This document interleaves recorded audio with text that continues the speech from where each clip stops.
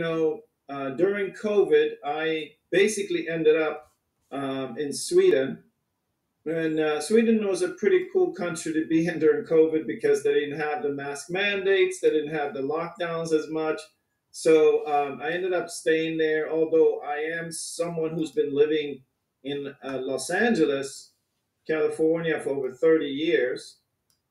And so then being in Sweden, uh, going from the heart of LA, where everything everything is moving super fast, um, I find myself uh, in Sweden in the suburbs, where if you want to get something from the store, uh, we're talking about a 20 minute walk, right?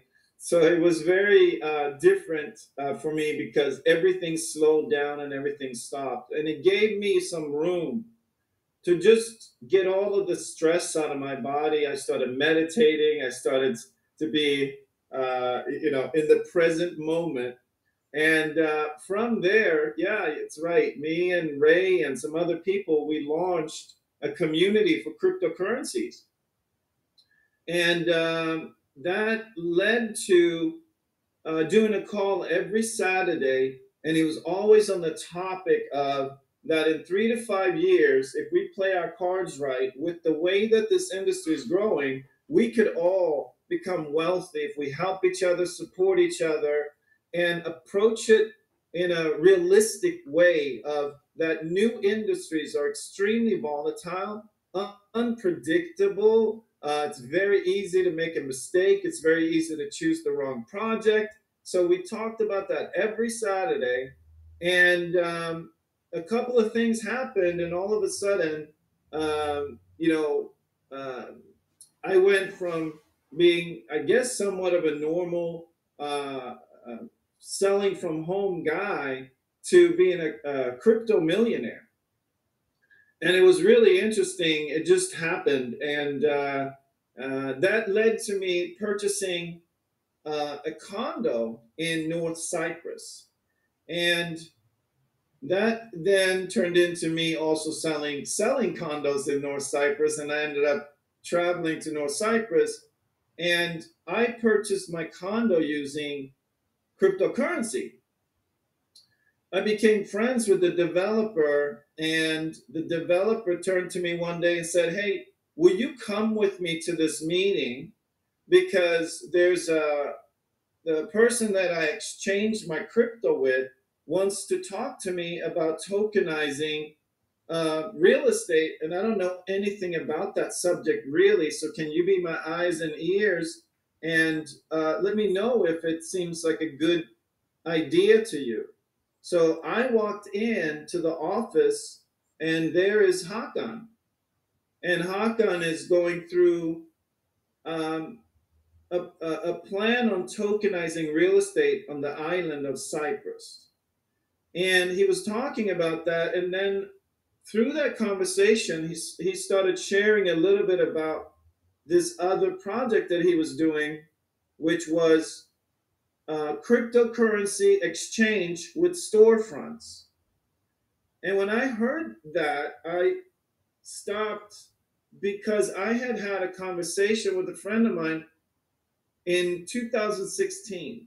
And I had said to him, I said, you know, I see what's happening with this. I understand this industry. I see what's happening. And I see that this industry is going to continue to grow because the technology that's behind Bitcoin is better than what we have now. And so I said to him, I said, you know, as a matter of fact, I believe that one day we will see stores. We we will see a cryptocurrency store at the Grove in the heart of LA next to the A- Apple store. And I said, when that happens, I want to be part of that. Like, I want to have, I want to be part of that. I want to be part of launching that. I would love that. So when Hakan says cryptocurrency stores, I reacted and I said, stores? What do you mean? I said, well, we have a franchise where we're going to put stores all over the world. And immediately I started to just see myself owning a cryptocurrency store. And so I said, well, can you talk more about that? Because I would, he was talking about tokenization of real estate, and that was the subject. And I said, you know, I really want to find out about what you're saying about these stores. And he said, well, we're here for for this, but if you guys come back next week, I'll present what we have. And of course, you know, I listened to the tokenization, and that's also a very, very interesting subject. But it was just for me, I started thinking, wow, one day I can own one of these stores. I can have a store, right? So I come back next week, and Hakan is on the whiteboard, and he's going, okay, so first we did this, and then we did this. And he's talking about the infrastructure of Miracle Cash and more.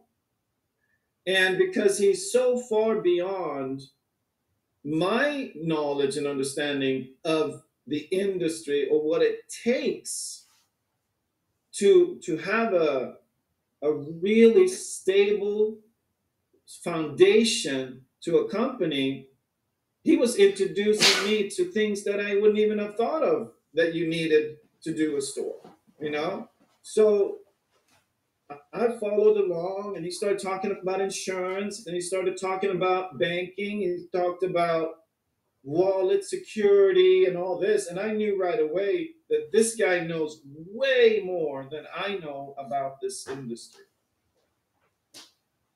And then he said, he said, well, so if you then uh, decided to get involved, what you would be looking at is securing a country and I said, A country? He said, Yeah. What we're doing is we're franchising and we're giving a master franchise to someone. And what they do is they control the entire country and they we split the revenue 75 25. And I looked, I said, 75 25? He's like, Yeah. I said, no, I don't believe I don't believe that. He said, we're splitting it 75-25 because I have an exit strategy. He said, I have products that we will be bringing in people into the financial world that have never been there before. They're going to give us financial information that big companies are dying to get. And so, in four years, with my plan, and I have the numbers written out, we can have a valuation of $200 billion. So, for me to do that in that amount of time, I am giving away that much because that data, if you don't know it, when you sell a company, usually you'll sell a company, they'll look at the revenue, the profits, and they'll say, well, what are the profits for this year? And then they'll forecast what the company's doing, and there's obviously a, maybe a thousand factors, but the bottom line is they'll look at how much money did you make, and they'll buy that company based on that number. But if you have financial data, if you have a customer base that has information that companies need, that valuation could be 30 times as much as the revenue number that you would be buying. So he said, I want to explode this all over the world. We're pretty much done with all the technology, and we are on our way to rolling this out across the world. Uh, and he said, I have someone in, uh, we're currently building the first store in Amsterdam. And I was like, okay. So then I looked at how do I, as an individual, confirm that what he is saying is true? Right? I have to know that's true. So we're talking about buying, now the discussion starts to go about buying the rights to Germany. Because he said, well, we already have a huge client base in Germany. So as soon as we open Germany, we have people who are going to do millions of dollars of transaction with us because they want to move that money over to Turkey. There's 3.5 million Turks in Germany. and we would be the portal for them to actually get their funds over to Turkey. I said, okay. So there's millions of dollars there already. So then if I put a deal together to get a country, would you recommend Germany? He's like, yeah, I would, I would recommend Germany because we already have business there. I said, okay. So I said, well, I need to know that all this is real. So I started to go through all of the details, all of the technology. I started to go and meet with his COO, his marketing department, his his development team to really get under the hood of the of this company and I asked for the contracts with the bigger companies that um, are lined up with Miracle Cash and more. And I spent three and a half months because we were basically committing to 1.5 million. And so, you know, obviously, depending on how much money someone is investing in a company, you're going to spend an equal amount of time on your vetting, you know, um, to see that everything is there. So I looked at the trans. I already knew he was doing phenomenal business in North Cyprus. I had obviously already been a customer because I purchased my condo with crypto, and he was the one that exchanged that crypto for money for the developer that I paid.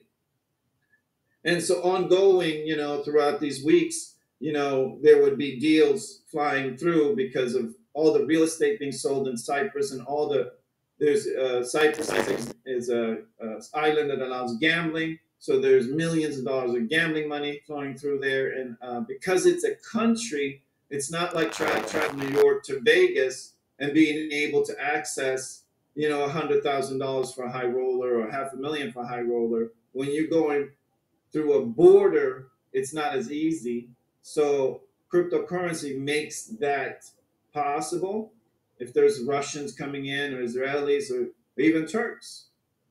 So then I, you know, I saw that he had built an incredible amount of tech and had no debt. I was like, okay, so all of these systems, piece by piece, I dissected them and looked at them after, and then after three and a half months, I felt comfortable to come in to that deal with half a million and bring other people in on that deal so that we secured uh, Germany as a as a team. And then right away, um, because of us looking to put that deal together, there was more people around that wanted to be part of it, and then we ended up um, doing a deal for France. So, so at the time, it was finding someone who had liquid, um, 1.5 million, 2 million, whatever it takes, and finding someone who understands crypto enough to feel comfortable with that number, and then finding someone in that type of that type of person that the timing was right. And so between me and Ray and CWS community, the crypto community, uh, we ended up raising about half a million dollars in two weeks with smaller investors that became part of Germany and France. And we looked at it and said, that's what that's the model. And to backtrack before that, we had already discussed the tokenizing of Miracle Cash. And we sat and we were super excited about that model because what we saw is we have a massive um, opportunity that we can actually now, because of the technology, bring the everyday person into in the the time where usually we don't have that opportunity. Usually these big companies are launched without us knowing about it, without us even being able to be part of it, because if they're going to go out and raise money for a company like a Binance or a Coinbase, they're not going to come to you or your neighbors or your friends and raise it with $5,000 increments. They're looking for 50 million. They're looking for 10 million. They're looking for 100 million. So so when we saw what we could do using the blockchain, we said, wow. and you know, Hakan's a family man and and and this is this is a friends and family company. And uh, he wants it that way, and he loves that part of this, that that's what it will be and that's what it is. So when we saw that, we just looked and said, will this work? And we looked at it and said, on paper, this works. On paper, this should be an incredible success. And so, May 15, we did our first presentation for uh, for Spain, and we introduced it and said, "Hey, here's what it is." And uh, I think we got our sale in the first day or two. It's actually uh, Jordi, uh, one of our um, uh, salespeople now, actually, she's in the company. She had the first sale. And then from that, it started to happen, and uh, we started to connect with people. That they looked at it, they were excited, and of course, they were excited. We had something real in this industry that is so full of just money games and people who want to make a quick buck, uh, and a lot of insincere people who set out to do this, uh, to to start companies just literally just to take people's money. And we've been through it. It's set up to take your money. So then we're looking going, oh my God, after eight, you know, after whatever year or so of starting our crypto community, all of a sudden we have what looks to be the most amazing crypto opportunity, but crypto company, something real, brick and mortar, to offer to all of these people that we know that have been looking for something real in this industry. And here we are, brick and mortar crypto uh, company. So then I thought with everyone, I said, I think this is the, a good time to um, just open up a little bit on the tech that I was looking at. And uh, so that, and this is really going to be, um, you know, Rui is going to come on with me. We're going to do some screen shares and I'm going to talk to him. And this is because there's a lot of people out there that are dream stealers. There's a lot of people that will say, oh, that's not real because we're used to things that are not real. So they're used to that usually there's too good to be true stuff going on and it's not real. And I have to admit, while I was vetting this company, I my setting was there's no way this is real. There's no way he has this. There's no way that this company could be formed on a small island in Cyprus. So I was expecting to be disappointed and to walk away from it. I was expecting it because it is so unbelievable that something like this could be real and that it could be coming from a small island in the Mediterranean. It's really those two things to me were how does this fit? All right. So um that's you know that's that's that's my story and then so I formed Cashflow NFT uh, Cashflow NFT is the brand. Uh, it's it's uh, owned by a company out of Lithuania, Miracle uh, UAB out of uh, Lithuania. So we, we Micah. Yeah. I don't mean to interrupt, but can I steal two minutes? Oh, absolutely, absolutely, absolutely. Okay. Um, I want to just really talk about at when that point was. It was a humongous point because I think it was uh January, early early February. I came down for about three weeks, saw it, went back home to Arizona, and you called me and you're like, "Hey, come right back. We got a table at the World Crypto Expo in Dubai." and at that point, we were trying to market uh, the entire um, uh, the entire license. You know, you have a you had to have a lot of money. You know, it was over a million dollars, and we're there, and, and we had a lot of um, you know, we I think we had the best opportunity in the expo. You know, you saw a lot of different, a lot of the same stuff, them battling each other. And when they saw our storefronts, they were walking by, going, "Oh my God, where where did you get this from?" So, and I remember coming out of there and booking these fancy dinners with you know a couple of millionaires and and I remember you and I were walking away going, huh? I mean, it, we were, it was nice, but it was just like, I don't know about you, Michael, but I felt in my heart, I'm like, is this the right way? You know, they're already millionaires. And, and I always had the community, our community in the back of my mind, but I'm like, God, it's like, you know, over a million dollars, you know? And I so remember when we came back from Dubai back to Cyprus, like, okay, we had these lists of people that had money, and and and I'll never forget when you had that that it was kind of like a, a picture of a pizza on the board, you and Hakan, and I was there, and I was just kind of just you know the third man there, just kind of soaking it up, and three of the slices of the pizza were shaded, and I was like, well, you know, what what is that? And you're like, well, you know, th- there's some things left in France, and I go, okay, how, how much was the whole pizza? And you're like, oh, 1.4 million. So I'm like, okay, so every slice is is about 140,000. And I remember, you know, going to bed that night at your pad, waking up, and I go, you know, what if we took those three slices and created kind of micro shares? And you're like, huh? And I remember I went, I went, because I didn't know what, what was going to happen. I go, let me let me take this to the community and see if anyone would be interested.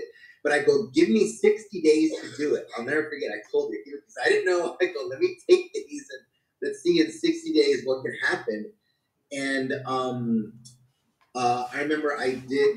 I, I called an emergency Zoom for the community. I'll never forget. Dina helped me and it was a horrible presentation. You talking about presentations that we have now with slides and info and projections and real numbers. I drew um, I drew an ugly house and I said, okay, this is the store. you know, I, I, went over the vision and took about 30 minutes and Dina helped me. And I remember calling Micah two days later and I go, we're sold out. He's like, what? I go, we're sold out. They bought them all. They bought all the micro shares and I think we had like 27 at the time in France, and and and credit to Micah because in my head I went, okay, when's the next expo? And back to trying to sell the the licenses. And Micah, being the visionary he is, he went into his cave. He kind of disappeared for around three days from me. He went into his cave and started creating. And he came out of the cave and he came into the office, the Miracle Cash office. And uh, at that point, um, at that point, we um, we met. We met, and he basically said, "We're totally changing the way we're going to market this." And at that point, everything changed. He goes, "This was meant. This was meant for the average person to get involved and literally become financially free." Not because of sweat equity, because you know they they're they're they're purchasing you know a, a an NFT or a membership and, or whatever and supporting miracle, supporting yeah yeah yeah, and um, I remember you know Spain was our first country out really, and we so it was kind of like the, the beta test I was I was nervous. I never told my I was real nervous. I'm like, oh man, is this really the way? We changed. He literally changed the the direction of the company at that point in in three days, and we came out, and I'll never forget it. We never looked back. We sold Spain in 31 days or 32 days, and here we are. And the, I mean, it's just you know, I just wanted to go more in detail of when that happened and yeah. what happened and and how you did it. So it's just it was it's unreal. And and at the same time, we had a, group that had signed a contract to do UK, and they had a schedule um, of funds transfer, and through that, it became a, a real mess. And we saw the power that a franchisee has on the company. So, you know, um, because of everything that I was doing at the time, um, Hakan brought me into a room and sat me down and he said, you know, I'm going to give you something that I wouldn't sell for a hundred million. Hmm. And he said, I'm going to give you a piece of the company.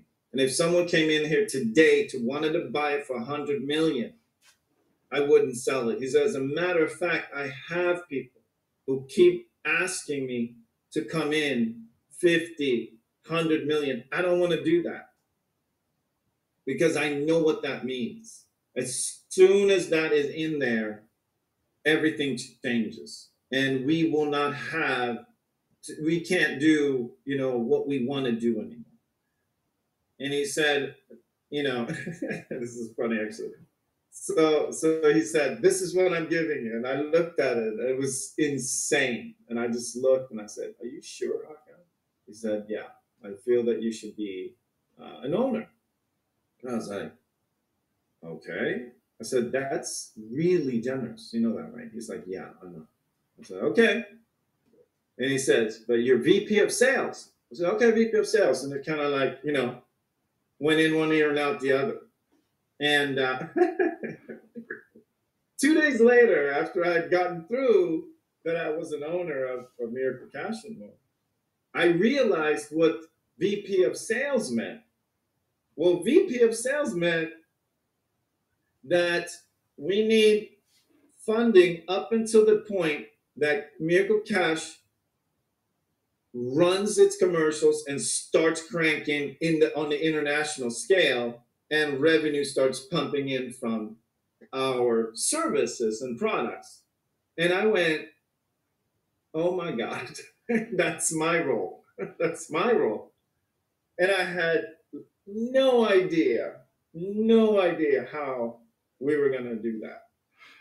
And I just said, well, if he sees that in me, then maybe he sees something that I have yet to discover about my capacity. Because if I went to a thousand companies with my resume trying to become VP of sales, it would be 1,000 no's. I can tell you that right now. It'd be 1,000 no's. But that's the interesting thing about life. When God delivers you into a position He wants you to do, you're called to do it, and there's help from above, right? So in the last uh, four months, Cashflow NFT, we've done over six million dollars in sales. Six million in sales, and we are continuing to increase. And I believe that we are very close to doubling and tripling our sales over the next month or two. Vegas is going to be a huge event, very exciting. So, okay, with no, just, just, I want everyone to get that we're real people. We're real people who have been through it. We have been through it.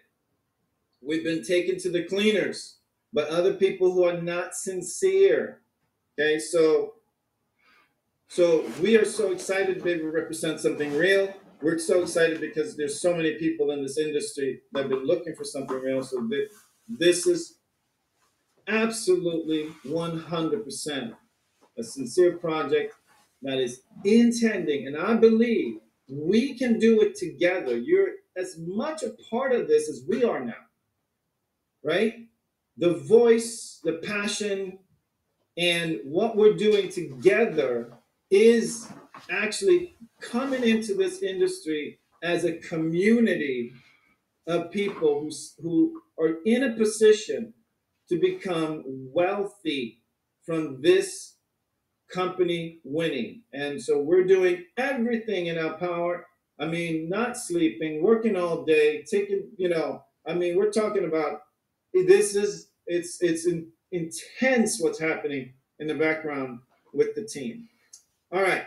So Rui, let's uh, let's kind of look at some of the stuff here. it's not going to be that super polished, smooth presentation, but that's what it is. When we go and we sit and there's a group of us and we're looking at tech, it's bumpy and it's it's not like all polished.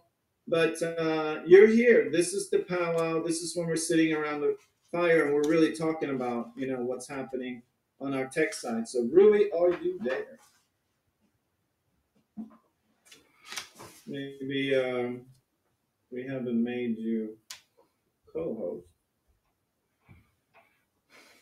That would be good, wouldn't it? Hello, Micah. Hello, hello, everybody. It's a great pleasure to be in front of you, and actually another pleasure for me to speak about the tech stuff as Micah does about background, uh, dozens of people, my team working on this uh, project for months now, more than a year actually. And uh, it, this is our first chance to meet who meet with people who actually help us to do what we do. Thank you. All right, all right. So I'm gonna sort of we're gonna be kind of back and forth. Um, I I you know will be just working with you now, Rui, talking through some of this stuff. So, what what is your sort of uh, title? We talked about this the other day, but uh, BaseFi is the tech company that's contracted with us to create everything that needs to be created for the company. You're the lead developer, I take it, right? That's sort of the. I'm the project manager of this. Uh, actually, I I'm just uh, directly involved in business intelligence part of it. So I'm the reporting guy or budgeting and reporting stuff. Uh, okay. But, uh, I'm just project manager for the whole of the whole team, which is consist of as, as I said more than 30 people or so, dozens of people, let's say. Uh, I'm just uh, I'm just talking for, to, for them. I am the people who talk. By the way, you tell me I am the tech guy, but I speak with them and they tell me are the tech guy. Right not. Uh, okay, okay. so what what makes what makes your team the team that we want to work with? What why are you guys so good? Like, what is it that makes you you, you great? What do you think? this is an extremely new business and people are really interested in doing this stuff. And actually we worked with uh, some of the largest uh, companies in turkey who are just trying to step into nft business. And we are right now and doing something different uh, with this project. Uh, most nft projects are simply collectibles if i might say, say right know there is no real backing on it. And for developers, while we are working, of course, we are just making codes and that kind of thing. But when we are working and we know there is something behind it, uh, it makes us, you know, excited about excited about this stuff. And also uh, in our business, it's hard to see shops, people, you know, this kind of kiosks, uh, this kind of terminals uh, right. Very exciting. So you're speaking of the NFT project, but I'm speaking of everything. I'm speaking of Miracle Cash. I'm speaking of everything that you guys are, you know, building for us. And I know you're also Cashflow NFT, but you're also Miracle Cash, and um, you've done great work there too. So oh, thank you. It, it's a great opportunity to work with the you know the, there there are classical financial instruments all over the world, and for almost twenty years I have been working on many financial projects as well. Seeing them and building them on a new way of doing business is obviously interesting for myself and for my team as well. So this is. So you're saying that you guys are building infrastructure for like the financial industry, like banking and yeah, we were, and but right now we are uh, imagining new ways to do business, new ways yeah. to finance them. Some of them will uh, be probably will be copied in the future and still being copied by the way yeah. and, and some of them will you know create new traditions that's the way why we are very excited about it and paying this much time and effort on this project mike yeah okay so now we're uh, we wanted to look at um, there's something that we have, and we're going to share a little bit more about this particular product. But this particular product has no borders, and it's our virtual point of sale system. And because it has no borders, we had taken that out of the the MFA.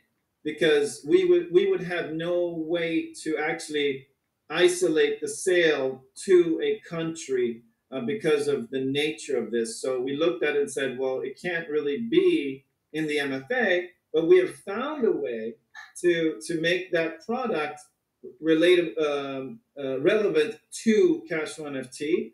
So, do you mind? Uh, should we take a look at this? And um, I just wanted to forewarn you on this uh, screen sharing thing that there's a function. Um, maybe Daniel, if you can pop in, there's a function where people can start writing on our screen, so we don't want that. So uh, once you launch your screen share, maybe Daniel, you can walk Rui through to, to turn that off in case. Right. Uh, from This which project actually? Uh, by the way, just a, a, a few days ago, Maga came to me and s- asked me how we can you know, make a presentation. I said just a couple of weeks ago we made a presentation, but it took three hours just to go over what we did two and a half months work. All right. Yeah. So you wish me to show some of our projects or just an overview of what we are doing for last two and a half months, Mike?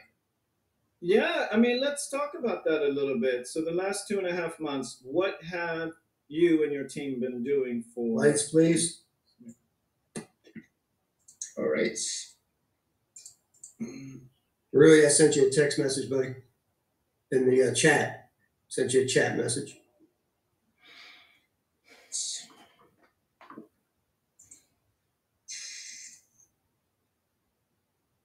So can you see my page right now?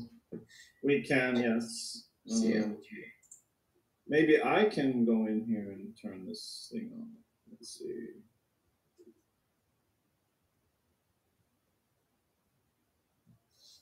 All right.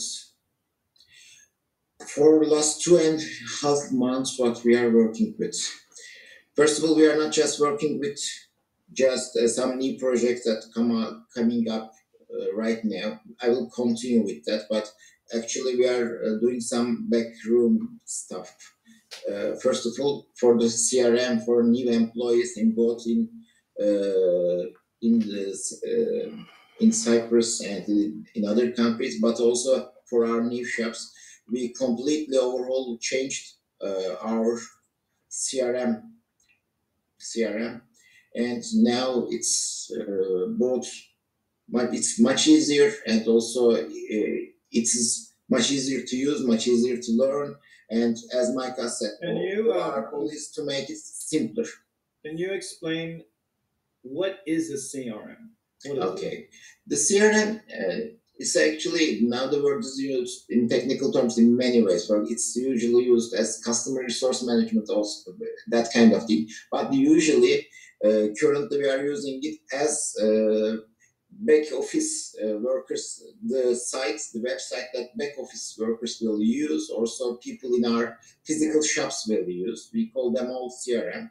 Uh, that's uh, we improve it in order to catch up with the newest technology. Also, uh, because of the language barriers in different countries. Obviously, uh, we are going. It's English or Spa- Spanish is not a problem, but as you as things uh, come one by one, and there are new languages that we are not ready for them. So. uh, We prepared a system just to make sure it will be effective. It can be used in any country and any language whatsoever. Also, in each country, we have some new challenges with CRM. Obviously, every new country has some limitations, some new laws, uh, and we try to change it with each country. Currently, this new CRM will uh, let us able to change it more effectively in time. So let me let me stop you right there.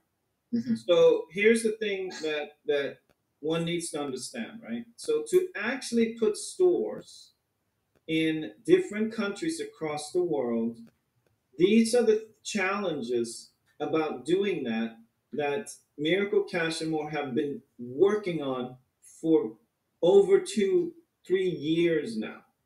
So it's not just find a store, make it pretty, open the door. This right here is what it takes to do that. And the the the, the different details, the challenges that that comes with is really sort of what uh, Rui's sort of pointing to now.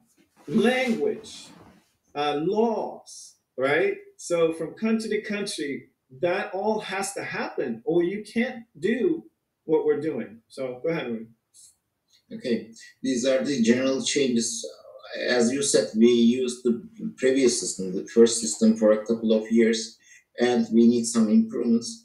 Also, we made the CRM for our future use. Uh, it's quite like, uh, you know, put and uh, you know, put something in and work kind of stuff. Uh, we can change it pretty easy right now. So this is why we needed a new one, and we worked on it about six months. It's just back office work. We know, but we needed something like this. This is what we completed after six months of work last mm. June. End of June, we completed this. Great, great. So you're saying that the CRM, the new improved version, is at this stage functional and Yeah. can be used in these countries like Turkey, Yeah, Germany, France, UK. uh, Netherlands. Uh, Netherlands, Netherlands is a you know extremely different way of doing t- things, and Yeah. yeah, it's. So it's they all sort of they all function a little bit differently depending on the country. Yeah, that, that, that's a great challenge, and uh, obviously in time we will face new challenges. And we we can't know in a month's time something in Germany will change, and we will have to face something new or completely new, and we need to change our CRM accordingly to in that country. And this uh, architecture will uh, help us to do it as quickly as possible. Okay. And how many do you have on your team that's in working on this um, currently? It's a it's a extremely hard, hard question. Uh, there are many teams, but CRM was a, a large team where I, I really hard to give numbers, but I'm sure of one thing: there are just five testers working on new CRM. You know, just tester part. Yeah, Just yeah, tester, I'm sure just their number. All right. So these. Uh, So these are in, these are sort of screenshots. So let me Yeah. read. Um, go back there real quick. So just gonna read through this. Um, Okay, uh, this is the end of this, you know, uh, CRM part in this shay. I will continue with uh, Fireblocks. Uh, you know, there was in- investment transactions on new CRM fixed uh, the network because obviously there is a connection between the next topic I want to will talk about the Fireblocks. What is Fireblocks and why they, they are why interconnected with new CRM and Fireblocks. Uh, Uh-huh. I continue with it. Let's do it. Okay, Fireblocks. This is something huge. Uh, from a customer's point of view, nothing has changed, by the way.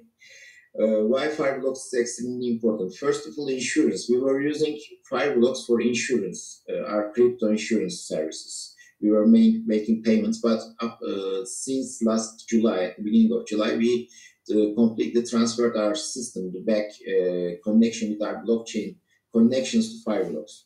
What does Fireblocks do? Fireblocks is now currently a world market leader about uh, in services with connections to all crypto networks and offering their customers. Uh, it's obviously just B2B service uh, in the sense uh, customers to keep their wallets in their system. It also offers new insurances for theft, frauds, that kind of thing. That's another a big plus for using something like Fireblocks. Also, the best thing about Fireblocks is whenever they add some new coin there to their system. By the way, hopefully Mircoin will take its place there some sometime later. Nice. Uh, whenever a coin takes place in Fireblocks, uh, you can add it pretty much pretty easily. You don't have to make some uh, manual connections to your own system, etc. You just have to connect Fireblocks, uh, and you ask their, uh, you know, they take you take their information and you add your own system. So the wallets, all transactions, everything is happening at the Fireblocks level, and it's you control everybody's wallets there. It's a service uh, in technical terms. It's just a ser- give- offering us a service, and we are now begun using it. we transferred every user's vaults from uh, that classical, I don't know, maybe it's better to say traditional way into this new Fireblocks service. All right. Uh, the best Creating customers is Fireblocks probably with our software, right? Yeah. And now we are working on uh, the Fireblocks architecture and direct connection with them. Uh, the, for the customer part of it, the best thing is probably insurance, as I said it. But from the developer's perspective, we can easily add tens of uh, coins, which whatever coin we wish to add to in our system. Hundreds, maybe over a thousand. Yes, uh, it's now it's not a technical issue, but a business decision. You know how many Yeah. coins you need to work with. Yeah. Very cool, very cool. and obviously we try there are some financial uh, you know the uh, workflow of this crypto world changed because of fireblocks but i really don't if you wish i can enter details about it but Um, I don't know. It's fine. I think uh, the details of that is maybe overkill. Um, tech, tech sometimes with people is, you, you know, they, they they show up not knowing at all what this is, and I think that some there's there's going to be a percentage of people that are highly technically uh, uh, in, in that space of understanding this stuff. But for me, what, what I really wanted everyone to understand is the level of technology that we have. And I think even if you don't know technology, you get a sense of that this is this is very big of what you have to be able to do to be able to do what we're doing. You know, stores in all the country, physical locations is such a big difference from popping up a website and start selling, you know, to all corners of the world compared to having, you know, physical locations. It's a whole nother, whole nother game. And what we're pointing to is where is the competitor? How would they show up? How would they compete? Well, it doesn't, it doesn't matter how much money they have, they still have to go through this to get there. So, is it possible that we will be the only storefront cryptocurrency exchange? It's possible, right? It's possible. So, because this is what it takes, you know, the CRM, the wallets, the license, the regulations. The it's it's a, it's a huge project. All right, let's go on. okay as a beginning we make some tests uh, this presentation was made about two weeks ago and we made some tests and added some coins uh, just three coins right by that time. We are asked to add a hundred more coins just to begin with and we began uh, adding them. Currently 25 or so more coins added into the system with tests.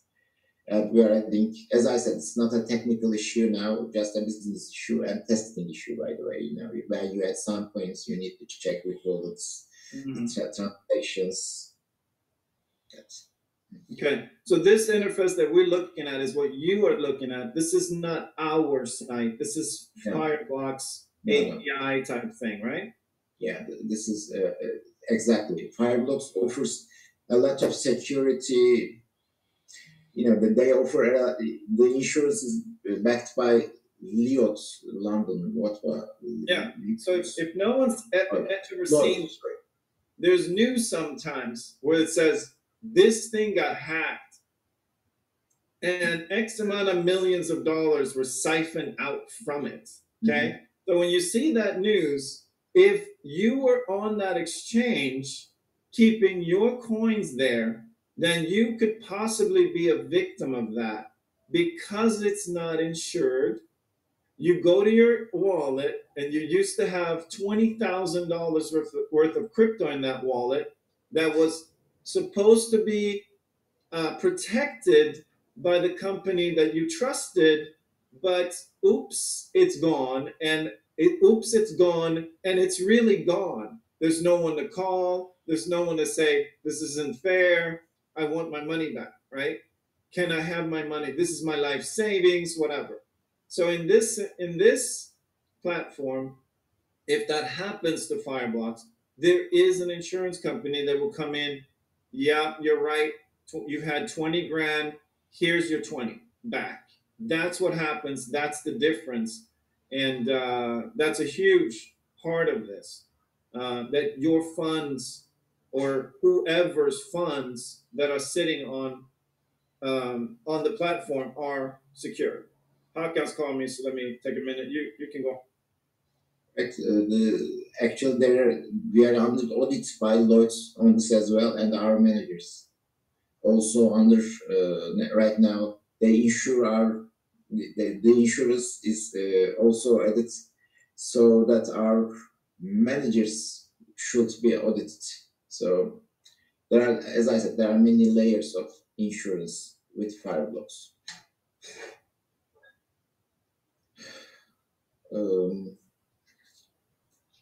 Miracle Cash Coin. um sorry, just names. All right, uh, Miracle Cash Coin. We have we created two coin. We are on the work of creating our second coin, but the first coin will be a stable coin that will be used in currently privately in uh, Miracle Cash and More network. Uh, the coin is minted. Uh, white paper was uh, requested because now currently we are on our way to apply if we can be added into uh, blocks as well. Uh, at at that moment, uh, the Miracle Cash Coin, Mircoin, right now we are thinking thinking about, will be added into the list of one of those thousands of coins that Fireblocks is currently offering its customers. It's closed network right now, uh, by the way, and it's on Ethereum. Uh, it's Ethereum based coin. There you go. Miracle Cash Coin is known as a stable coin. So when we do our presentations, we talk about tokenizing things. Well, this is a dollar that's tokenized, right? So for every Miracle Cash coin that goes into circulation, and a dollar goes into an account that is protected by a third party. So why is that important? It means that okay, so if you have a, a, a digital unit that represents something real that's sitting in an account, if we have access to that account, then that digital unit is no longer backed by the dollar. So so when you when you look at USDT and you look at the stable coins that are out there, if you're familiar with that, they don't have that. They have access to the money, which means that it could be and it could also not be backed by a dollar. It could be kind of faked, right? So the so when they audit USDT, what they're finding is there there's a, there's about two billion dollars missing. Okay, that's not good. So what Miracle Cash and More has done is set up that structure because Hakan comes from the financial industry where there is regulation. You can't mess around. And he said, even though there's no regulation here, specifically here, I'm going to regulate our company myself by setting up a situation where we can't cheat the customer. So the, the money goes into an account, it is protected by a large firm, and no dollars goes in and out of that account unless that firm's approve it, and it has to match up. If there's a million miracle tokens in circulation, there has to be a million dollars in that account. It can never be a million here and 1.5 million digital units out there. In our situation, we can't do that. And Hakan set it up so that we can't do it because, right? Uh, someone comes along or buys the company, whatever, and all of a sudden they're like, well, we need half a billion. Can we just borrow it from the Miracle account just for now? Because we just need to do this thing. It's not a big deal. We're not really um, dishonest people. We're just, we're really protecting, you know, we want to build this good company and we're justified in borrowing half a billion dollars out of that fund. That can't happen with us, and it can happen with other stable coins. Just so you guys understand that situation. Go ahead. with customer dashboard upgrade, we totally changed all our almost all our uh, customer dashboards, uh, user UX and UI.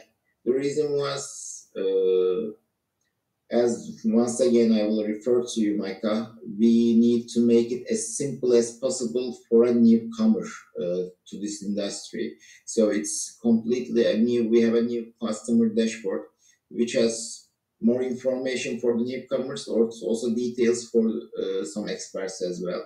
But we completely change it. Uh, if you wish, we can go over it, but it will take a lot of time uh, we added a lot of charts from uh, our uh, partners, uh, a lot of many options, graphic contacts, some analysis for newcomers as well. Also, also we added some our new products there. Um, so, Micah, I really can't speak about this. Actually, I spoke about this three hours a couple of days ago. So you yeah. need to stop me, and maybe we can just continue go over over it. Yeah, I mean, I would like to do. Is it possible for us to do the the virtual pause, and then maybe we can show just this, a quick video on how our how our physical terminal works? So that okay. a very good video on that. All right. Now we are uh, moving from uh, Miracle Cash and Net, um, Cash and More website to and uh, another product, by the way, uh, Miracle Pay. Actually, we are very proud of it. Uh, May I? Sh- should I open the YouTube video here, Micah, or? Yeah, yeah. Let's do that. That's fine.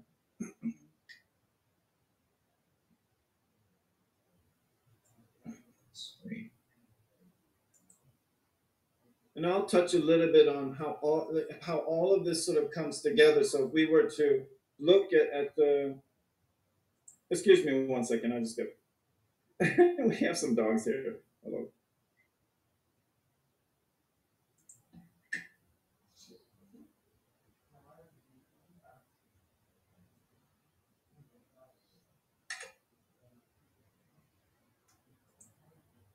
All right. This is just the uh, terminal POS of things. It's also, a user guide for. So the uh, physical POS. We yeah, bought thousands of these. They're ready to go out, by the way. Yeah. And currently working, by the way. Yeah, yeah.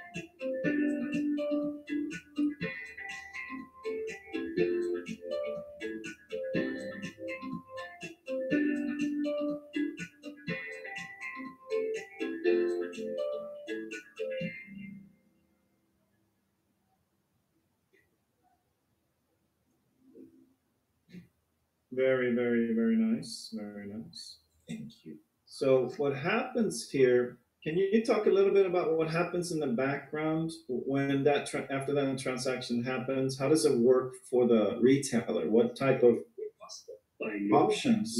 Click the link below Sorry. to get exclusive No worries. That's sorry.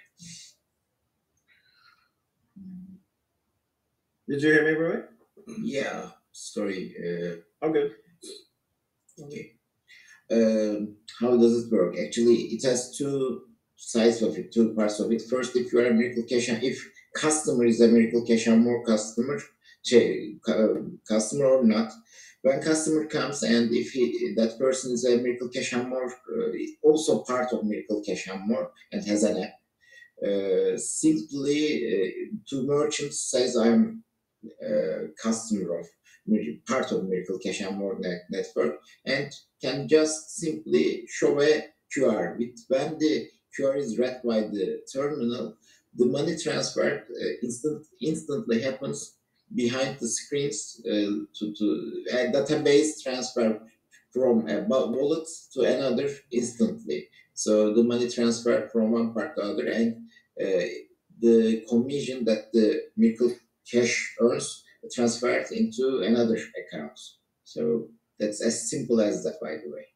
So, So- okay, so if if um, I'm in Peru Mhm. and I needed to convert over to Peruvian dollar, I don't know if they have, but uh, so so so what? How does it? How does it get the rate? Like, what's what's the way that it, it make, makes that calculation right away? So obviously, there is no uh, fiat hard currency transfer in the uh, in the general idea of it. So only crypto is transferred. You enter a let's say ten dollars amount of it, and it instant and you tell a merchant to asks the customer with which crypto that person wants to pay. Let's say Bitcoin. Then when uh, merchant enters Bitcoin there, it's automatically transfers into uh, Bitcoin, and Bitcoin is transferred. Then Bitcoin can be turned into fiat. So Uh, that's okay. how things work. So So, Actually, if I want it to happen immediately, I can have it happen immediately. yeah, yeah, immediately. Yeah. It And immediately. does it go into like one fiat first and then it switches over to the local currency? Because if I'm in Peru and I have a shoe store and I sell a pair of shoes, Mhm. I want that money in my bank and I don't want to be sitting on Bitcoin that loses 10% value overnight. I want it to be that money, right? You know, I don't want to be in Yeah, the I up and down. Actually, that's uh, the business parts of things. Uh, obviously, money transfers instantly, but behind it, uh, how the company will pay to the, its merchants is uh, our, our decision. By the way, obviously, we can make it instantly. we can pay instantly, but probably we need will at some time. But it's as I said, it's just it's a complete business decision to tell the truth because as you said it, there, let's say i don't want to i accept dollar from my customers but i want to use uh, let's say an uh, peruvian i don't know really what currency they use in peru uh, then we need to transfer it on the back office and should find a way to send them but it's all financial transactions after Yeah. that point So, so at that point, the money will be in an in an account, and so if we're opening, say, that particular country, we need to be able to actually move that money to that country uh, in a in a swift fashion. Um, so every time we look at can we do business there, a lot of it has to do with can we facilitate the service in that country with its laws and its regulations that they have. So when people are asking me like, can I, can we do this now? You know, if they're in a country that we haven't opened yet, you know, my answer is, well, you know, we have to actually take steps to be able to open our, our business in uh, each country that we're, we're in. So that's the business side of things and regulatory side of things uh, to the company. Yes. Um, so Like- shall we? Sh- I know we've done a lot of tech, but it, it- do you want to show the virtual? Uh, yeah, I really like to. Yeah. uh, So the virtual point of sale is basically if a website wants to accept crypto, we can tie into that site through what's called an API. What's that abbrevi- What's that abbreviated? It's what? API is what? What does that mean? Do we know? by the way, I don't have it. Access Yes, I mean, I really protocol listened to many interface. years, but let's go back to our computer engineering course. Yeah, right. yeah, go for that. It's just been API for a long time. I forgot what I meant. Um, so it's basically it connects to the website. The website. You go to the website. All of a sudden, you see, hey, you want to buy this this uh, TV using crypto, and then you click on that, and then we then will be the company to facilitate that transaction. And so here's the simplified page for demonstrating sort of what the experience would be for the customer. And this is really important. I have worked with crypto point of sale systems, and they've been very weird and hard. And so when you look at this, this is uh, to me the best I've seen. Here you go. Gail says application programming interface. Right? Thank you, Gabriel. By the way, I will not uh, forget it for the rest of my life. I stumped you. What is it called? Stumped you? uh, 20 years since college. All right, this is just a you know demo page for uh, merchants. Uh, we are showing them. Uh, this is simple cart just, and you have twelve dollar purchase, and you just want to pay with crypto. You know, like credit card, paying with credit card. Let's say here it right, and you can pay with crypto. Yeah. Uh, there's a new this is a screen. Obviously, it's a demo screen, but simply you are you are a customer buying from a merchant. Let's say you choose let's say Bitcoin. This is USD because the currency on the card was USD. Currently working with four hard currencies: USD, Pound, Euro, and Turkish Lira. Mhm. So currency, and I'm a Miracle Cash customer. It just asks some QR. Ah, come on, Uh, my question is too. Uh, would they be able to? Sorry, I need to close my camera so the camera. I will show camera. So just a Uh, minute. I I'm my own. I'm closing my own No page worries. right now. worries.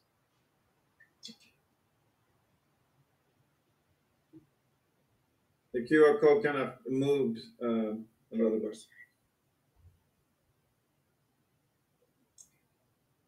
Okay. So you just bought those shoes, huh? Yeah, that's right. this. That's it.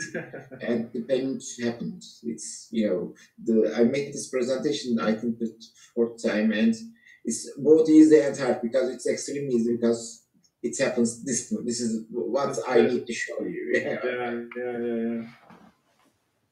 Um, is that uh, here is, is there a set amount for? Um, uh, the amount that you want um, to send is that baked into that QR code, or do you have to type it out? Uh, actually, two. No, it's not typing. It's typed in the QR code. It works uh, like that. When you you are a customer of Miracle Cash and More, so when we see your QR code, actually at the back office, we are uh, sending uh, with the QR code. we- We are expecting the service expects uh, as soon as reads this, try to transfer this amount to us if it can transfer it with this QR, it, it does end payment successful. If it can't, it turns back you know, it's a failed transfer to both merchant and customer. So Uh, it doesn't actually offer a you know uh, amount inside it, but it's expecting to see it when whenever it reads the uh, this QR checks its uh, the user's wallet.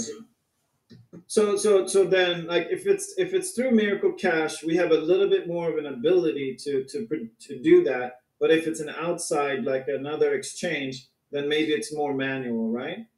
Yeah, it's it's a different process, or completely different process. Obviously, it's Yeah. our goal to you know make as many as customers in Miracle uh, network because it's both quick, easy, and no transfer fee, gas fee whatsoever, and instant. Alright. as- Okay, all right. Well, I feel and think that I've overloaded everyone with tech today. so I don't want to do uh, overload people too much on this. So I want to wrap this up uh, on that note, and I want to thank you tremendously for coming on. I know maybe this isn't necessarily what you do every day, but you did fantastic, and we appreciate you so you. much and Thank you. everything that you and your team does for the company. So thank you so much, Rui. Um, you're much appreciated by us. So I thank you once again to you personally and to everybody else for this opportunity. It's really very rare for us to see people, uh, you know, appreciating come out from behind the screen. It's very rare. All right. Okay. Thank you so much, Ruby. And I'm going to turn it over to Ray because I think you you would be good at directing the flow of what's coming next. Um, we've underestimated, I think, the time uh, a little bit. So um, let me know, Ray, what you think is best. And I know we have Hakan just finished up the first game of the season because there is a miracle football team, and um, he's very excited because they won the opener. And uh, here we are stealing him away from the celebrations of that, which is uh, one of the hardest things to do is to get Hakan away from the football field uh, because his passion outside of building billion dollar companies is building a winning football team, and I'm talking about football in the sense of how they do it in Europe. All right. So Ray, are you still? Yes, I am. Can you hear me? Ah, yes. Well, we're, we're gonna flow this call. We're gonna shift gears a little bit before we bring Hakan, just for you know five ten minutes. Um, we have two uh, in, really industry legends uh, on this call right now, and um, one of them we go way back with another company, Micah and I, and Daniel Petrocelli. Uh, we're so happy that he's going to become our community trainer. Uh, another one, he will be speaking in Vegas. He is also an NFT holder, and uh, they want to talk. They're both going to be um, uh, blessing us on stage in, um, my opinion, the biggest event that we've ever had in this company's history. It is it is our inaugural event coming up at the end of October, early November in Vegas. We have none other than Mr. Mark Aceta and Arnon Barnes, and they want to talk to you about why getting to Vegas is so so important for the company, for yourself, uh, for everybody involved. We're really gonna really we've launched this company, but we we're gonna we're gonna light the fuse of dynamite in this We, company ac- in we actually Vegas. have three powerful speakers because Dolph is also on the line. So Ah, Dolph de Roos. Oh my God, this is, uh, I didn't know Dolph would be out. So Dolph de Roos also, uh, all three of them, you're going to be meeting, uh, meeting them in Vegas. So I don't know who wants to go first. I, I, I know that like Mark that. is in, at an event. Dolph is in the middle of also traveling. Yeah. So Mar- Mark's calling us from, uh, uh, Mark's calling us from an event in Paris, France. I know Arnaud is in London calling in, and I don't know where Dolph is, but, uh, the, I believe one of our leaders is unmuting you guys. Um, so whoever wants to go first, guys. You just need to unjure. there we go. There's Mark.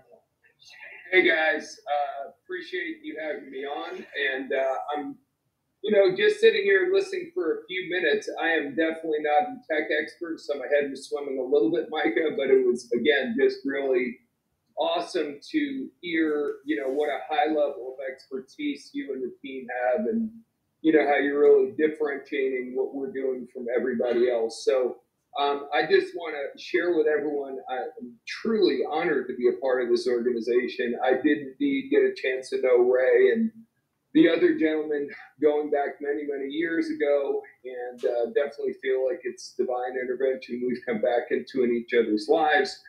So, you know, when they talk to me, um, certainly part of what we want to be able to do at our events is to make you, you know, more savvy as far as understanding investments.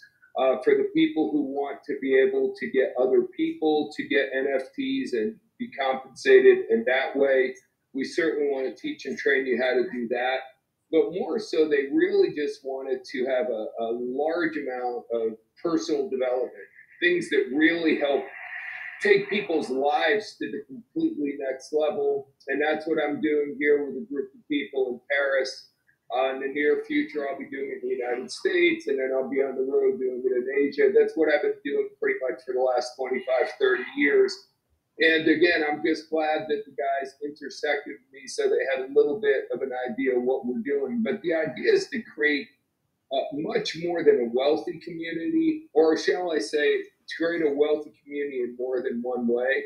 Financial wealth is great, but when you're when you're wealthy in all different ways, wealthy with your relationships, wealthy with your health and your mental health and all that kind of good stuff, that's really where somebody becomes a champion in every area of their life. And the cool thing is, what we're going to teach you at the event that's coming up in Vegas is a lot of specifics, again, about investing, but then there'll be a lot of universal success principles. And that's what's very exciting. The universal success principles not only work in investing, they work in virtually everything you do every single day. That's why there's universal success principles and I know we also have something very special. I don't think, Ray, I'm allowed to say what it is, but I do know that every person who shows up in Vegas, not just pays for the event, but actually shows up for the event, is going to get something very incredibly unique. I think I do indeed know what it is, but I know I'm sworn to secrecy. But I will tell you that it's worth showing up just to get what they're going to be giving everyone who does show up. And it's just another great way the company is doing the right thing for the people who are part of the community. So we're all very excited to have you out. If you've never attended anything like this before, I promise you it could be truly life altering. It'll definitely serve the purpose of helping you in the business sense, but it can go way, way beyond that. And I think the most important thing is it's it's really the genesis of us creating this community. Um, it, it, it, the 2.0 version. I know it's been around for a while, but now we're ready to really take this thing to the next level. And I'm just can't wait to meet as many of you in person. Uh, I'll enjoy the part where I get to be on stage and share some knowledge with you. But more importantly, I look forward to the meetings after the meetings and the opportunities to get to know you in person find out who you are, what your needs are in the way myself and the team can best serve you. So definitely do whatever it takes to come to Las Vegas. I assure you, it'll be well worth every penny that you spend.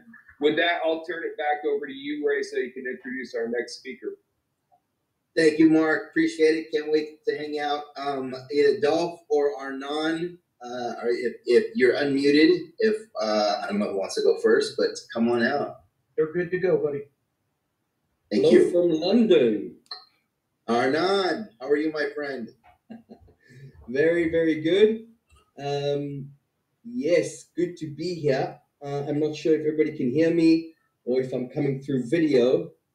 Let me just No that video. off. There we go. See you, buddy. There we go. Okay, great to see everybody. Uh, I'm not walking the streets of Paris like Mark. Uh, I'm in lovely London. So, uh, sending all my regards from uh, beautiful London to all our listeners, everyone who's connected.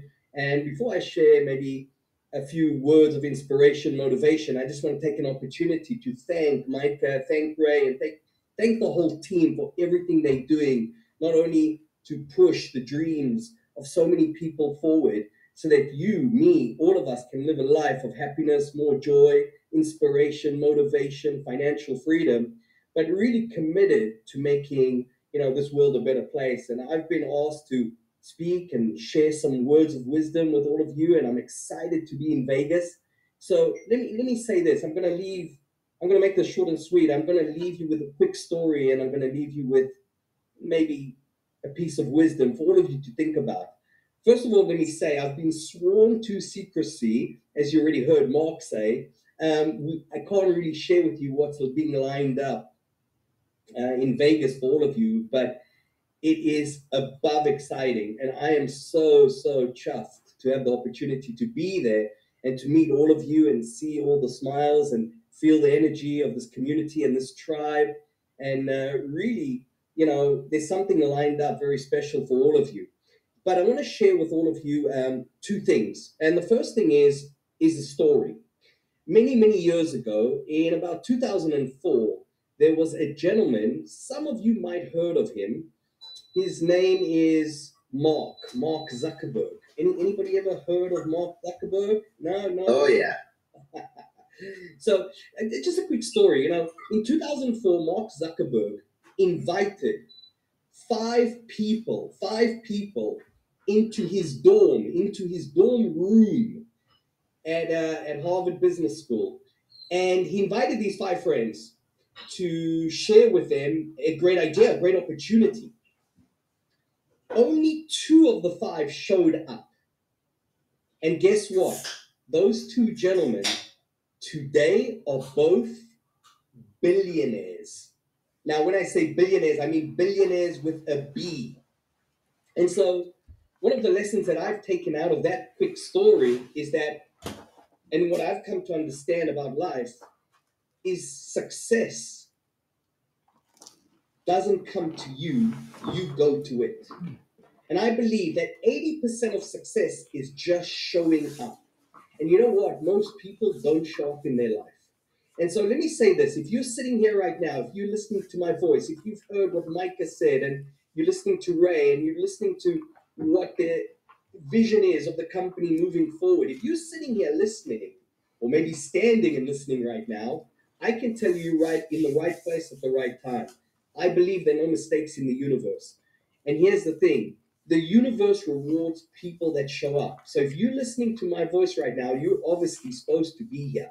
And you've got an opportunity to show up in your life, show up in Vegas, where there's going to be fireworks and potentially life changing opportunities for all of you, all of us.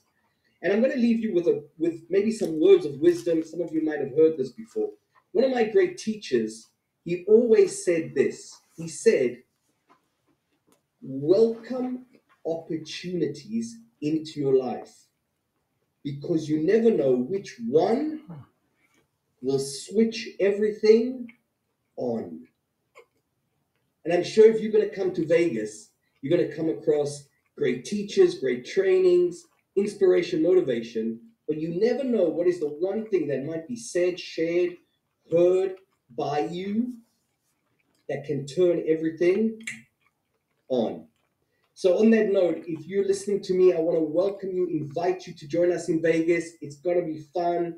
We're going to have a lot of uh, uh time together. We're going to learn, we're going to grow, and uh, I'm looking forward to meeting all of you. So, on that note, I'm going to pass the microphone back to Ray, back to Micah.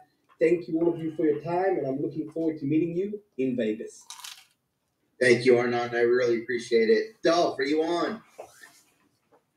I am indeed, and hello everyone, and it is a pleasure to be here. Thank you all for having me. I am uh, very happy to hear Mark speak again and to hear Anon.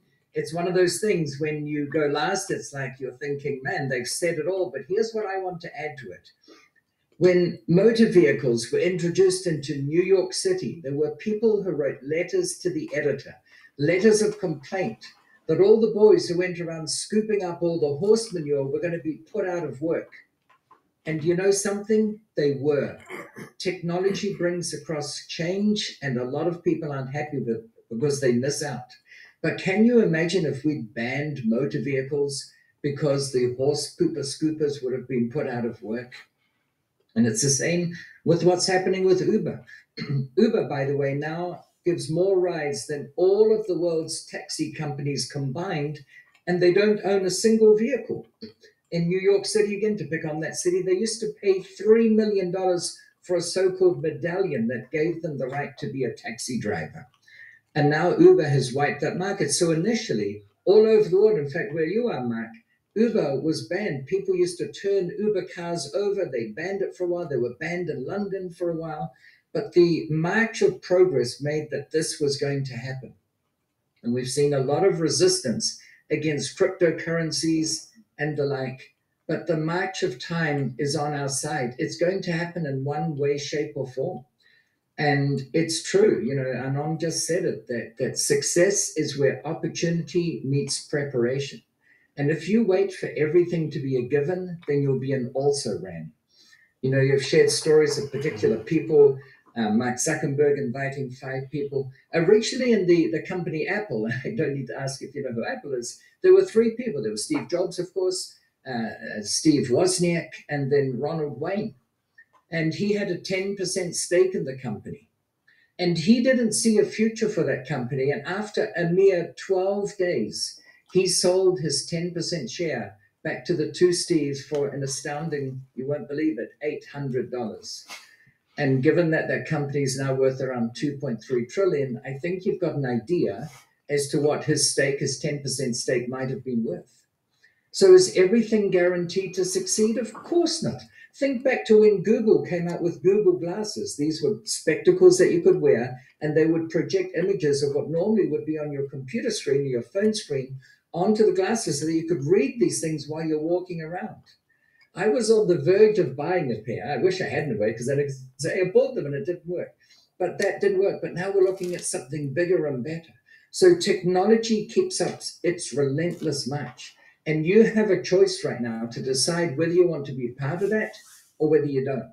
And I always say the world is divided into three kinds of people there are those who make things happen, there are those who watch things happen, and then there are those who wonder what happened.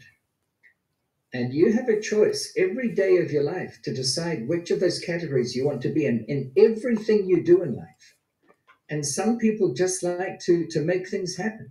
You know, the time I've been blessed in talking with Micah, he is a doer. He makes things happen. And are there challenges? Of course there are. There are many challenges in life. And sometimes the more successful you are, the more challenges you face because not everyone likes other people's success. And it's how you negotiate these things that really matter. That's why one of the, the biggest maxims I can give you is that it's not what happens to you in life that counts, but how you react to it. What do you do about it and what do you learn from it? And life is a series of progressions like that. And if we learn a little bit each day and become a little bit wiser, then we're all going to be better off. And here's the thing some people are wise and some are otherwise.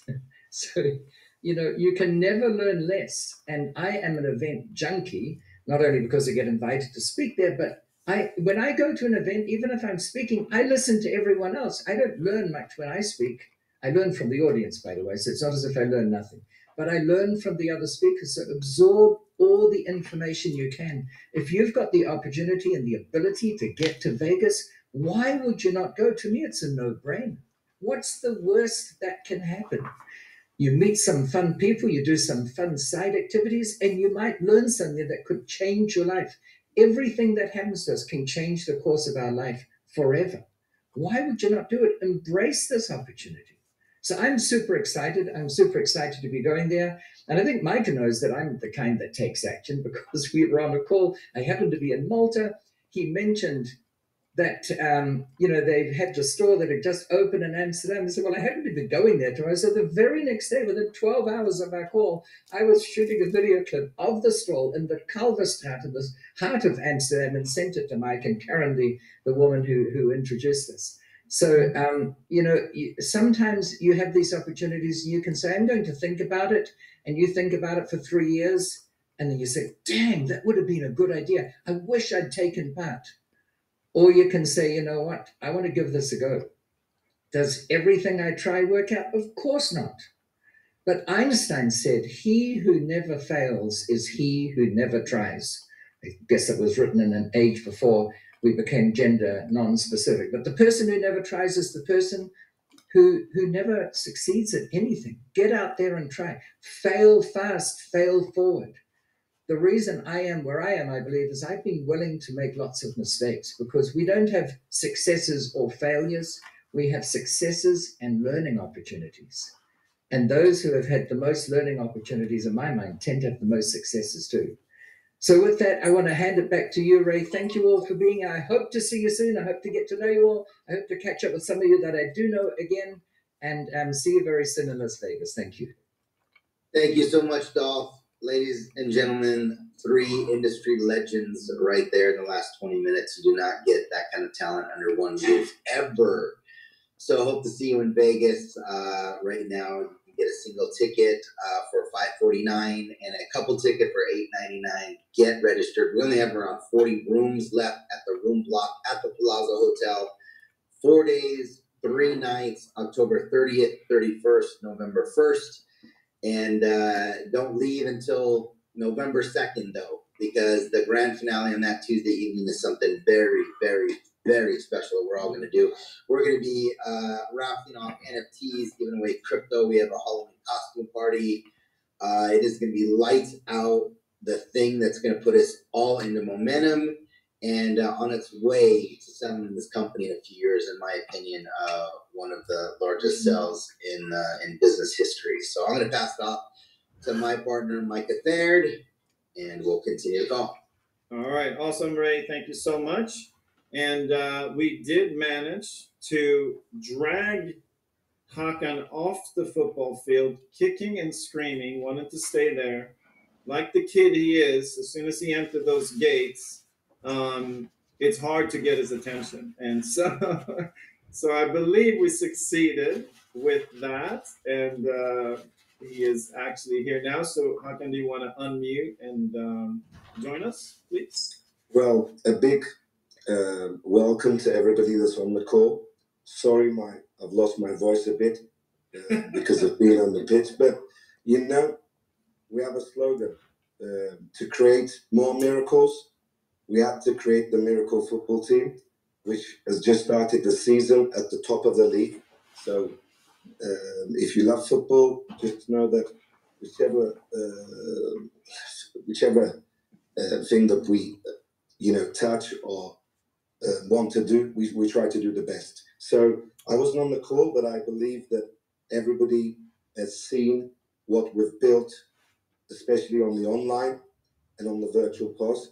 What I would like to say is, um, after six years of a lot of work and time and effort that's been put together, what I see in front of me as a technology, it's second to none.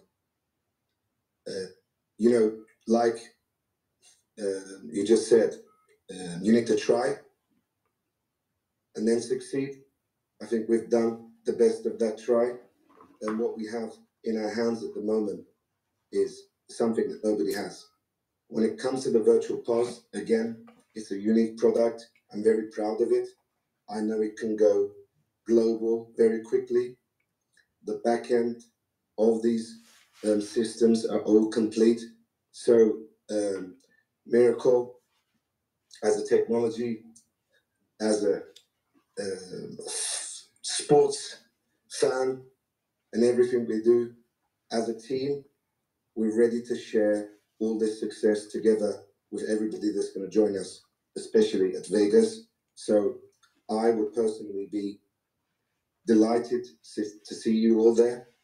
Um, and well, that's it for now. And if you have anything, any questions, I'm uh, I do. to I do. You, you don't get away that easy, Hakan. Um, okay, so you know people are itching just to kind of get, and I, I want you to maybe pick five of the top news events that's happening that you feel is a huge thing for the company. Also, give us a little bit leading up uh, from now up into the next two months what you're seeing uh, and what Miracle is doing because we're kind of at that particular critical point of really going public. Even though we have a store in Amsterdam and we're open, we're doing business every day and doing business every day in Cyprus, um, they haven't seen nothing yet, right, Hakan? Okay, so let me answer that uh, question. So first of all, uh, the structure of the company with um, with the growth that we're in. With we're currently in the process of turning the company into a holding company, and um, we have obtained a license in Portugal as well. So our holding company will be based in Portugal, and we are moving all our local companies, which are Germany, France, Spain, UK, Turkey, Cyprus, Lithuania, Estonia, Montenegro, all these countries uh, underneath the holding company. So that's a structure. When it comes to the milestones that we're, we've done, well, as you said, we've got successful businesses in Cyprus and we've got a very successful business in Holland. So what we're currently doing, we're at the edge, uh, hopefully next week, opening Germany as a store. We're currently under construction in Belgium, where we've already obtained the license because our um, Holland license is a Benelux license which covers Belgium and Luxembourg, to, along with um, Holland. We are still in the process of completing the FCA license in the UK, which should take no more than 30 days, which is something very difficult to establish. And the experience that we've had in the other EU countries has led us um, to obtain this license swiftly and um, in a constructive way. Now, when it comes to the online that I just mentioned, we're going live big time with the online on the 15th of October. And that's like two and a half weeks away now. And we will be marketing our online and our stores both in Turkey and Germany um, through CNN Turk, CNBC, NTV, Fox. All these TV channels will be talking about Miracle, and you will be seeing adverts. Um, so we're so we're starting the global marketing activity, um, and along with the virtual POS, we have many uh, e-commerce sites globally, which we're currently in negotiation of um, signing contracts and rolling them out. So in the next two months, I would say stores opening in Germany and Spain. Maybe a surprise for Vegas, which I'm not gonna um, give what at the about, what about France? What about France? France, we will have uh, just after Vegas, but we've got something at Vegas as a surprise of an opening, uh, which you know what it is. Um, So, and then really aggressively from mid October, pushing aggressively in Turkey, Germany, um, and following Holland and Spain on the online side. That, that's what that's what's coming. Give me a little bit of specifics on Spain. What have we done? Where are we at? We have we have currently um, leased two stores, Madrid and Barcelona. We're currently in the designing process of Madrid, waiting for the measurements um, from for Barcelona. So next week sometime we'll start the designs for that store as well. But for Madrid, uh, by the end of next week or the be- beginning of the following week, we'll have the, the full designs of Madrid. And as soon So- as the designs are done, they start We building started- the furniture. Yeah, yeah. Okay. But, Company I set up. Regulatory for Spain is that that's basically we're good to go, right? Because it's a registration. we've done the registration, we've um, set up the company, that's all done. Stores gonna go under construction. We've got the online ready. I don't know if you've been on through the new app, which is fantastic as well. So the new app will be in Spanish uh, live mid October towards end of October. So all those rev delivery channels will be um allowing the users to use not only buy and sell, but also the miracle deal Also, at October. At October. locations uh, UK. What's the what's the update on that? We've got currently 14 options that we're looking at. ninety percent the first store is going to be in Holborn. Okay. That's how it looks. So we've we've chosen really of those we've chosen two in Holborn, which we're negotiating, not with the landlords. The landlords side is being negotiated, but just going through the process with the lawyers. So you know, lawyers take two to three weeks. So we'll have the first lease in the UK in two to three weeks, which most probably is going to be Holborn, Okay. which is in it is in the city, and that's where Amazon is The goal to sign that lease It's is very close. It's very close to the Amazon store in Holborn. okay. And the goal to sign that lease is this month. We'll sign the lease this month. Okay. Um, you said we're hopefully opening Germany. Where are we at? Oh, screens up, furniture in, Furniture in, employees, training. fur- What- furniture, furniture in, screens up, and training this week, and then we open. All right, cool. So we we've hired the staff. We got people The staff we the staff we have, they're, Yeah. they're already trained. We will two of the staff is already trained. Mhm. We will hire two more, and they will be trained um, as we open. Awesome. Okay. Um, Mallorca, looking there. No, Mallorca, Mallorca, on. So after Mallorca, we couldn't we couldn't close the deal with the lawyers. Uh, Okay. So we're looking for another site at Mallorca. The Okay. Mallorca, we're still looking at uh, another option. It didn't go through. Okay. So all of the advertising, the, the the the I guess you could say the plan, the assets, the how it's going to run, where it's going to run, has all been submitted to these networks. We have, for all these countries, we have the next 12 months marketing plan. Um, and, and Mehmet, I mean, what you can do maybe um, through the week, if, if you want, or next Saturday, you can actually get Mehmet to present the marketing plan. Uh, Yeah. If if if you think it will be um, a value add, because there's a lot of work there, there's a lot of planning there. But it's not only for one country; it's for many countries, and it's not only for one channel. It's it's TV, it's radio, it's um outdoor, it's digital Yeah. marketing. So all those channels have been planned, and, and the plan is there, and all the um, partners that we're going to be using for those services are all being signed contracts. So so everything is in place on the marketing side. Right, and Miracle is paying for all the national and international marketing, right? The MFA isn't Correct. Correct. And so you basically duplicate, go to the next country, um, run it there again. What's the biggest? What do you think is going to be the biggest revenue coming out of Spain initially? Where's the money going to be made initially? It will be buy and sell at the beginning. Mm-hmm. but after the first quarter, it will be um, the miracle deal will be picking up, and, and in the next after that, when we get to month six, miracle deal will pass buy and sell. Okay. Um, two two deals that I think are really exciting. One is I think the deal in in uh, Germany with the with the electronic Schufa? terminal. Yeah.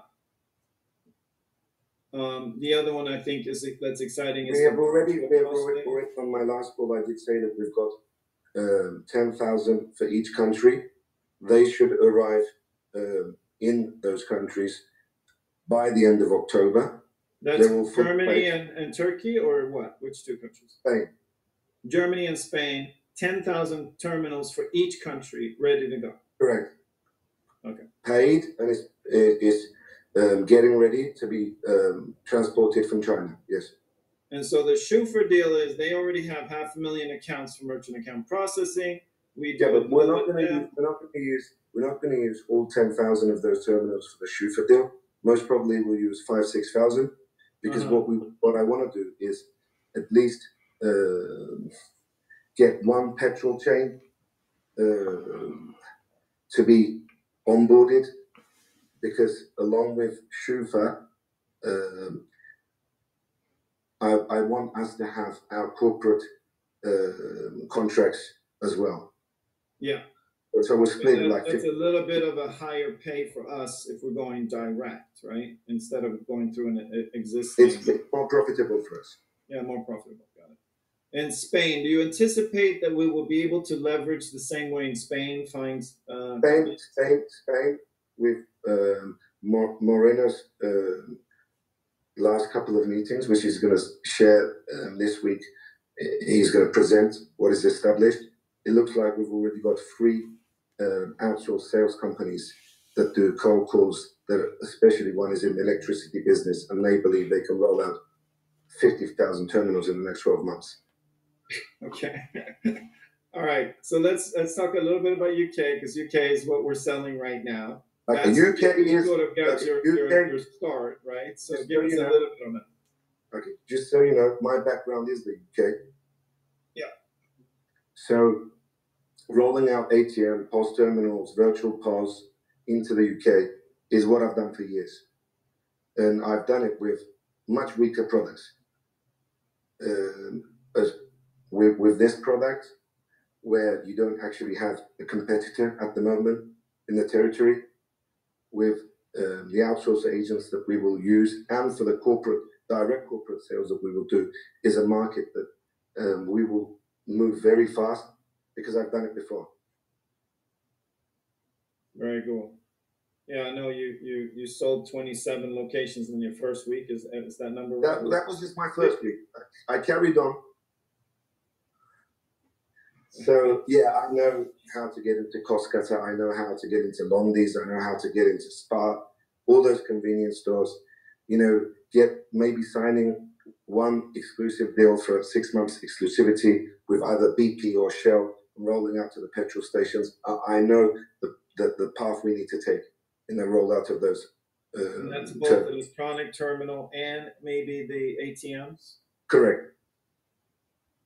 Very good. So, Because if, if, because if you recall, uh, any licensed, unlicensed ATM in the UK, they pulled them all out. So that where there was a market, that market is actually re-emptied. Right. So there's there's basically holes in the ground where we can Exactly, get where it needs to be. Exactly. Exactly. And, and and the good thing is, you actually because the merchant knows the number of transactions, you can cherry pick your locations. Right.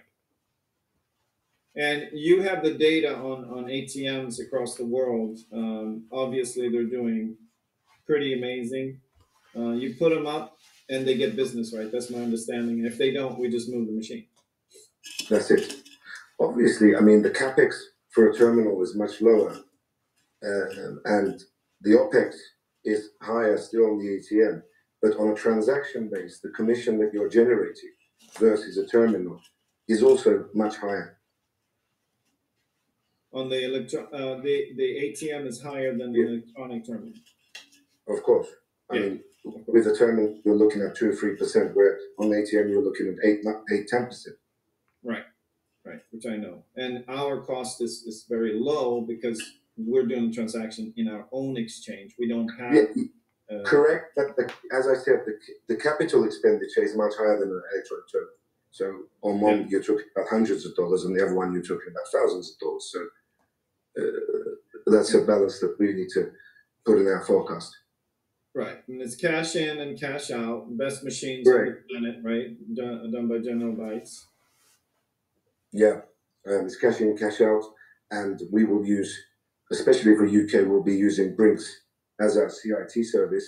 Mm-hmm. That's cash in transit, and then through Europe, you've you either got the option of Brinks or Securicor as as companies that give that service.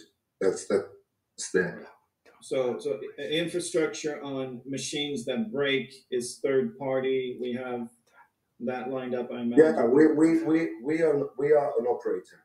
We, we we're not into the manufacturing of the terminals. We're not into the maintenance. We're not into the uh, additional services like cash in transit. That that's not our job. Our job is to operate the terminal with our products that we actually deliver through them. Awesome. So overall, Hakan, are you pleased with where we are now? Are you happy with Micah, this Micah, huge team I- of salespeople that are out there helping us grow? What's what's your overall feeling on everything? I think I think two things I can say there. I mean, if you remember, like ten days ago, I called you. Um, um, I have, I mean, we were in the room, and and Ray was there, and Jason was there, and it's not me. And I said to you, call the team and get them to give you an update of what they saw, if you recall. Yeah. So I am over happy of what we've built. Number one. Number two is the actual structure. You know, you can build the best product in the world, and and you can sell the best product in the world, but the actual structure and the compliance and the risk if you can you need to manage that as well because we're in a financial technology market we've invested in uh, not only our IT developers, not only in our sales team, but we're, we've invested a lot in um, our legal team and compliance and, and risk. That's the comfort that I have. I know that maybe things can be a bit late because compliance guys are not the fastest in this world, but they make sure that you don't, um, you just don't, because you, you can, you know, uh, without knowing, uh, you can do a, a mistake, and and the fact that those breaks are there on the company, that's very healthy, and that and that, and that makes gives me a lot of comfort. Yeah. And so um, I guess to finish this up, you know, what really, you know, for We're you, about to, Micah, the, the reality is we're about to boom and explode. Okay, that we we have uh, partners in any all these countries now. Those are established. We have structure that can filter all this and deliver. So as a company and product, we're about to explode. The the, the plane has already left the left the ground. It, Mm. It's just rocket up. That that's how it is. Uh, I'm very happy and very comfortable. Awesome. So you're Put it this way. Put it this way. If I wasn't, I wouldn't be going and enjoying um, football games, right? I know, I know it, it's, uh, uh, I don't know if, if, if you put Miracle, Miracle Team here, it'd be an even, uh, uh, level of uh, passion and, and interest. I, I, I totally get it. Um, all right. I think, um, we Well, appreciate the time, Yeah. obviously. Sorry for being late. As I said, I really appreciate everybody on the call. Um, believe me, being late, I was uh, spending my time with youth and and you know giving them the passion and uh, help that they needed as well. That's how we're going to grow a community, right? We need the youth to Yeah. follow with knowledge and passion. So Yeah. so that's what it was. Um and thank you. Yeah, thank you, Hakan. Thank you for the five and a half years of work, hard work you did before we showed up, and uh, we won't let you down. We will uh, make sure that you uh, and this company uh, gets to where it needs to be and where it's supposed to be. And it's a protected company, it's a blessed company, and uh, we're a blessed community. So thank you so much, Hakan. Thank you. Thank you, guys.